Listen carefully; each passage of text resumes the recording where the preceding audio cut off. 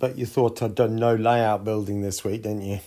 But no, rest assured, there has been some work done on Dinting Station, so stay tuned and all will be revealed.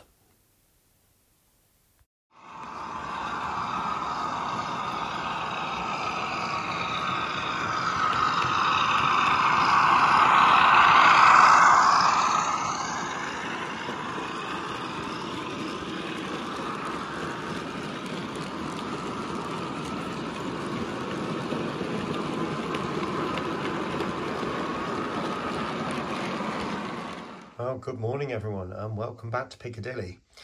Now, that was pretty much the scene that you saw at the end of the last video and the work that I'd achieved at Dinting Station. So you can see Dinting Station is considerably smaller than what I would actually like it to be. Uh, it is. It needs to be a lot wider to be realistic and considerably longer to be realistic. So the buildings certainly down this side will need to be compromised. Now that's my basic plan for the main station and these are, it, it's a bit like a 58 in the sense that you've got this central bit which is narrower and then the roof sort of comes along to make it look as if it's the same width from above. Um, so if I put it up to the edge of that path just there, I might be able to fit a couple of parking bays there, whereas normally they would be just there, but you can see it's not going to be possible to do that. So again, compromises. Now, this is um, a slightly narrower version of the main building, and you've got these two sections on either end, which I shall build first. Uh, these flat H shapes are representing windows, and obviously the bit there represents doors. Okay, so there's a lot of doors on the platform side and you've got one main entrance door just there on the um, roadside, if you like. So I'm thinking maybe just lose a couple of these windows along here because that is, there's a lot of windows along there. And I just think for the size of building, I don't think it's necessary, to be honest. Uh, my scale ver or my um, compromised version of the building, I mean. So I might just do that. I'm 3D printing the window frames, um, which I'll show you in a minute. And um, I'm going to build these two end sections first out of one millimeter card, then some reinforcement inside that, purely because it's going to be a lot easier to cut the window shapes than it would be out of the two millimeter stuff um, and then still be able to fit the window frames inside there. Right, welcome back. I did say I'd show you some of the 3D prints. There's some of the windows for that and the doors. As um, the Cura is getting really good now in the sense that you can actually produce um, panelling. So I'm quite pleased about that. There's some of that um, sort of 45 degree angle fencing and there's one end there. So cut out some parts out of card. I have gone for one millimeter purely because it's easier to cut. And that's the back end of dinting station there. So you can see um, that bit there just represents that. Um, what I'm going to do is stick them in initially with a little bit of sellotape behind them and then just dab some super glue around the back just to hold them in. They will need to be sprayed first so again, some double-sided tape, stick all those pieces to it, and then I can paint those white and then put them in. Um, I am going to be using some brick paper, which is that, and you can, hopefully you can see that's not far off at all really. So I'm quite pleased about that. So I'm gonna wrap this first, um, well, get all the windows cut out, that's the first job. Um, make it up into a whole and I'll show you that and then I shall wrap that and then put the windows in um, bit by bit. Right, there we go. That's the first part done. Um, you can see I've put these two millimeter bracing pieces into the corners and then effectively made a floor um, which is uh, effect, you know keeping each of the sides at bay. Um, those four pieces there are all cut to 25 millimeters, which is the height the floor was sitting at. So they also act as a stop So when I push down on that, they that can't move. That's down as far as it can go. Right, welcome back. So you can see now I've wrapped that building there. Not worried by that little edge on the top there, that will get covered by the roof. Um, but you'll also perhaps notice that the windows are covered. So what I've got to do, picking up the scalpel, very gently, and hopefully you'll be able to see what I'm doing here, poke it through up to the top and gently down that way and just make a like an eye shape like that and then down that way and down that way. It looks a bit of a mess. When you poke it through, just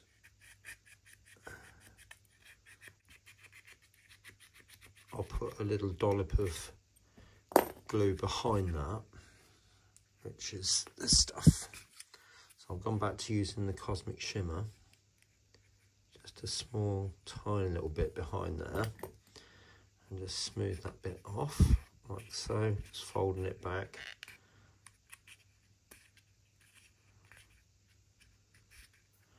Hopefully you can see what I've been up to with that.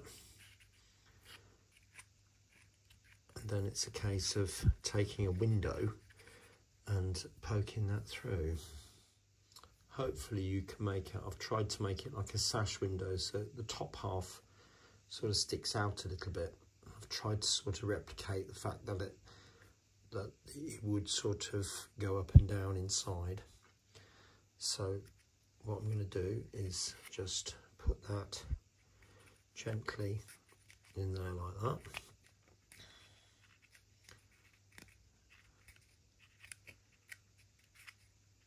and put a little bit of glue inside there just to hold that in. And just give it a bit of a rub over. Like that. Now obviously it needs the um, windowsill putting in and there's a bit goes around the top but I can do that. That's um, I've got some papers to do that with, specially shaped papers, which come with the kit. Right, just thought I'd show you where we are. So I'll show you the two ends first. So we've got that bit there, all the doors and windows are in.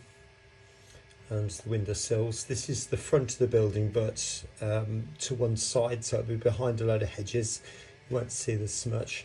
And these pieces here do seem to stand out quite a lot on the camera, but they're a lot more subtle in reality, I promise you that and there on the other side this is platform side. And um, if you look at the real thing there's three windows and four windows and I've tried to replicate it as much as I possibly can. And you can clearly see the sash windows there can't you? That's all 3d printed.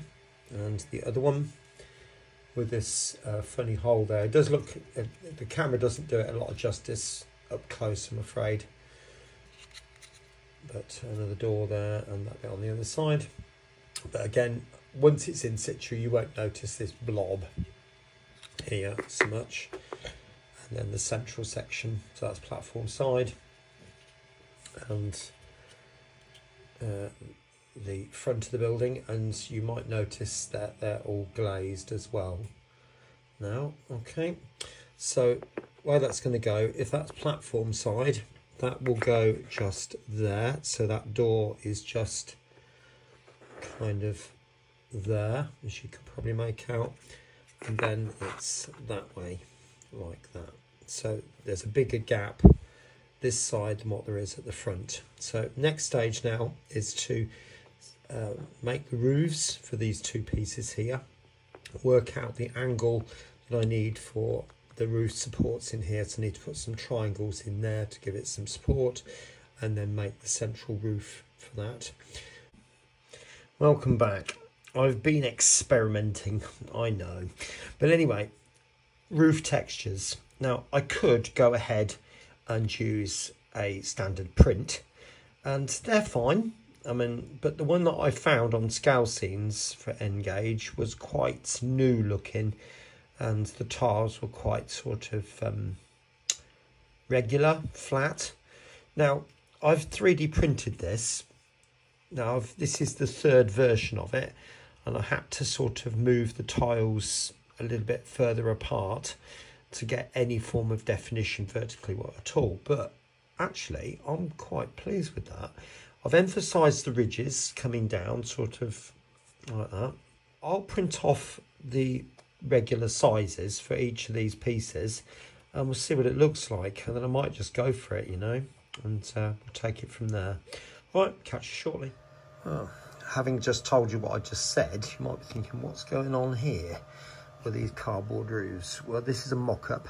Um, these obviously not glued down by any means, but I do need to work out um, the intersection between this roof and these two pieces.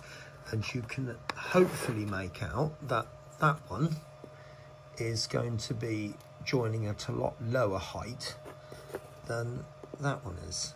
That one's going to be sort of there, and obviously that one's obviously going to be considerably lower because uh, that piece there I've put on the plinth now, and this roof was cut down um, the other day.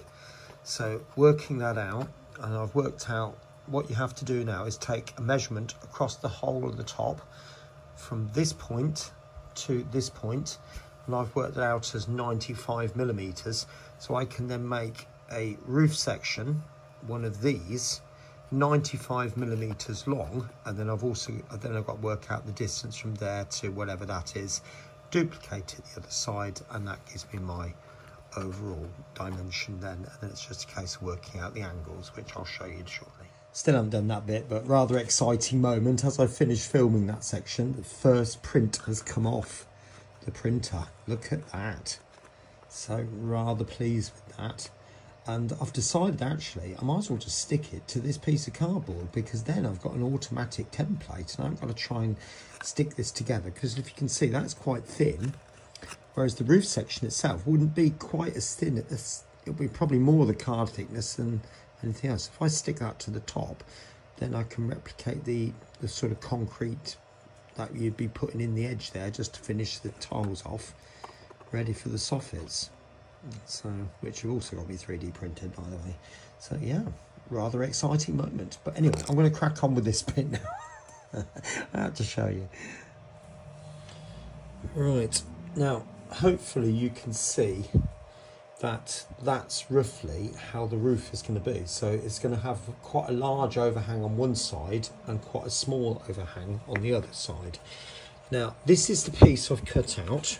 Now if I put that on over the top there, well one it's too long because it's got to be because it's got to meet where the pitch of the roof comes in. Okay, so that's the point where um, that's the length it needs to be to be able to meet the two pitches coming in from either side but you'll also realise I've got to cut a part out of each of the corners there so it to physically get on because it's nowhere close to fitting on. So hopefully you can see from that it really won't you see it's it's got to be able to I've got to have a piece cut out each of the corners there. So what I've done is cut a shorter piece place that over the top like that and marked where the roof meets the top of the walls. And then all I need to do is then transfer that measurement to these so you can see that and then cut off or centre that to where it's got to be in there. So all I do then is create rectangles on each of these to be so that it um, it fits on. Now, to, to make sure I get it in exactly the right place, I'm going to put these pieces back on and just centre it that way, just to make sure that it does actually fit, and then judge these lines coming down from that, because I've got a feeling it'll need to sit probably around about there. Right, so that's the roof fitted. So my next job now is to use these pieces, which then fold put back into there, and I've got to mark on the place where these parts, this roof touches that wall and that wall, and obviously the same both sides. and then where the actual apex of the roof comes and mark that position on and then cut that triangle out. Like that. You'll notice this roof sits lower. Um, that obviously does need to be pressed down but they fit beautifully does seem to be a bit of a gap there but remember the ridge tiles are going on top of that so it should hide any of the gaps there right so there's the building so far so you can see I've now got all the roof on printed. I've got the flashing in just down there and obviously on all the other parts as well. All the windows are fitted, the glazing's fitted. And I've also put in these uh, ridge stones as well. So the next stage now is the final details for this building. And to be honest, I'm just going to show you those at the end. You can see pretty much where I've been with this. So I will get those done and hopefully one or two other little bits around the actual station landscape itself. I'll catch you shortly.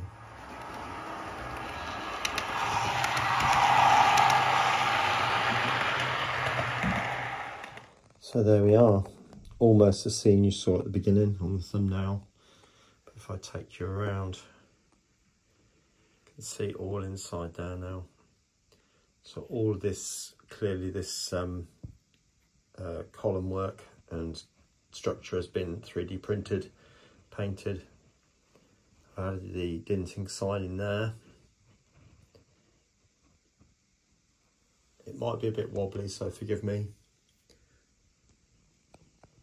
Uh, cycle racks there now and the fence going all the way around the outside. I've replaced that part, this piece of wall, because uh, it was just a bit too big. So I've replaced all that. Now view from the other side. So what's happened here? Well, we've got these triangle supports going along there and you've got downpipes and gutters and obviously chimney pots, which I'll show you again in a minute. And you can see the roof there and the effect that that has. I personally, I'm really pleased with the way that's turned out and all the, and uh, the chimney pots. These are all 3D printed. Now, it's really difficult to see what's on the top. So I've imitated the fact that the chimney pots have been removed and just concreted over. But uh, there's two there that have not. And I've tried really hard to replicate those three pots on the top there. And these ones are round tubes type style. But uh, there we go. Right, looking at the other side now, so you can see I've got the information sign up there and a mock-up of the building. So it's obviously going to be a lot smaller. It is literally just a car mock-up. There's nothing, no details on it whatsoever at the moment. But I did that purely so that I can add this fencing and the wall. Needs a bit of a sweep, doesn't it? right, I'll take you around the other side.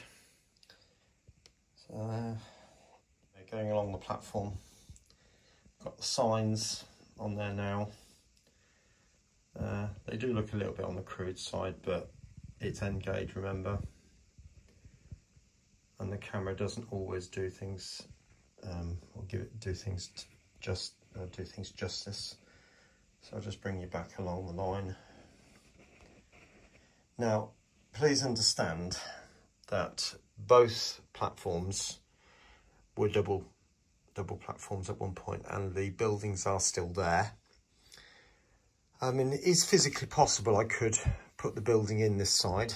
Um, bearing in mind, I'm just going to put a bank in here. So technically, there is space for that. But here, what I might do, I did talk about extending this by about an inch. Which I, what I could do is maybe go a tiny little bit further. Not much really not much at all, indicate the platform and then the trees behind that.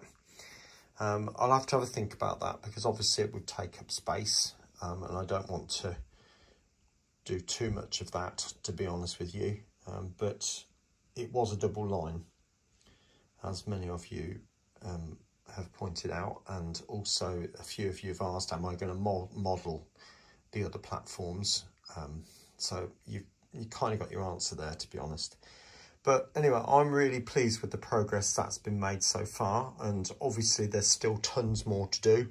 Um, we've got fences to go along here and at the end of that platform there and the end of that platform there. I've obviously got to make this building in its entirety. Street lights need to be fitted. There's bollards down here. Um, what else is there? I've got a feeling there's other bits as well. All this and all this foliage needs to be built up trees put in and all that sort of stuff because it's a bit flat at the moment. Um, but it does give the impression what's actually happening. But uh, I think once all that's uh, done, and oh yeah, these walls need weathering down, um, all that sort of stuff. Incidentally, they will be varnished and then weathered with some Nuln Oil type of thing um, so that they do tend to um, darken up a bit and that's what I did with that. If you scratch build buildings out of card and you don't varnish them, there is a greater chance they will either burst apart or swell up or things will happen that, you know, it depends on your environment, to be honest. If you're in a damp environment, don't expect the buildings to last long. That's what I'm saying. But anyway, so there we go. I think I'll leave the video just there. Hope you've enjoyed it. And uh, I will be back next week with the, hopefully, the last instalment on this. We never know. It might be another one after that. We'll see. Um, incidentally, I've received my Accurascale 37, so look out for that on Friday um, when I'll do a comparison to the Bachmann. And they are pretty much the same model, so it'd be interesting to see how what the differences are. So look out for Spot the Difference. Take care, and I'll see you soon. Bye for now.